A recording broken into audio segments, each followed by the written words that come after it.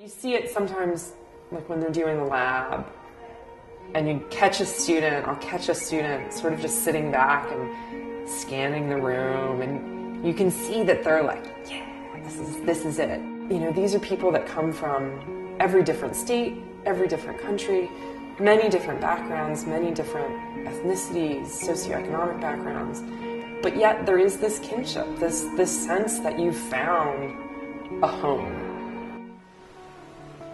Paleobiology is a hybrid of biology, geology, and paleontology. We're essentially in three weeks studying four billion years of life history. What are you seeing in the oysters here? Kind of like this and. So, yeah, use your hands. Okay, so they're sort of all like that. I tell them at the beginning that we will cover a lot.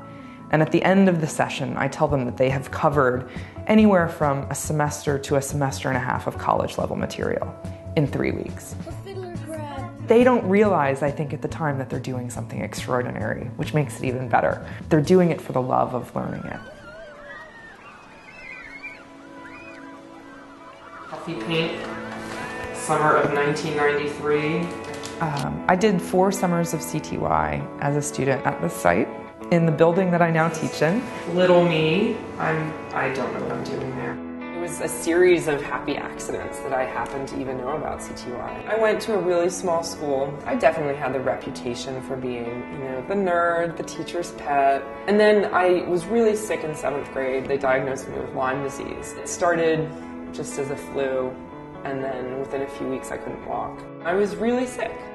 So I didn't go to school for most of the year, and then ended up getting a letter in the mail saying you've qualified for this Center for Talented Youth. So my mom signed me up for it. Not really sure if I was actually going to be around, or, but I was like, I'm going to go take this standardized test. And I think that I was so hungry for kinship with my intellectual peers that year that I spent not being challenged. That CTY was really amazingly transformative experience.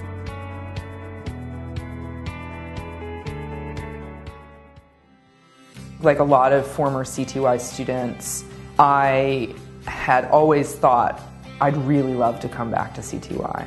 I remember the classes, I remember the rigor, but I also remember doing the activities and dancing like a fool. The staff alone interacts in a way that is indicative of the fact that we are really all intellectually curious and that we are socially well rounded. It really was sort of like peering behind the secret curtain, but in a good way, finding out that behind the secret curtain, it wasn't like a Wizard of Oz moment where you find out it's a sham. You find out that we are all people who have committed ourselves to a lifetime of learning.